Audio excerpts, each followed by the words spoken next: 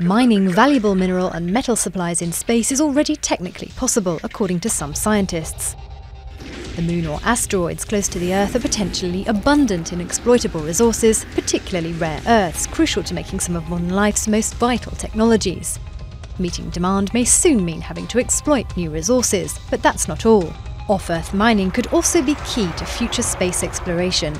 The materials extracted could be used to build lunar bases or spacecraft for travelling to Mars. It may even be possible to extract water from comets.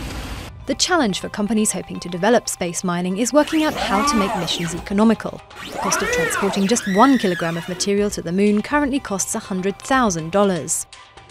Conditions are also difficult. Issues concerning gravity, temperatures, atmospheric pressure, and radiation levels present unique problems. But space mining could be physically and financially viable in 20 to 30 years, according to one NASA expert. Science fiction turned reality, or perhaps the next step in humanity's quest to conquer space.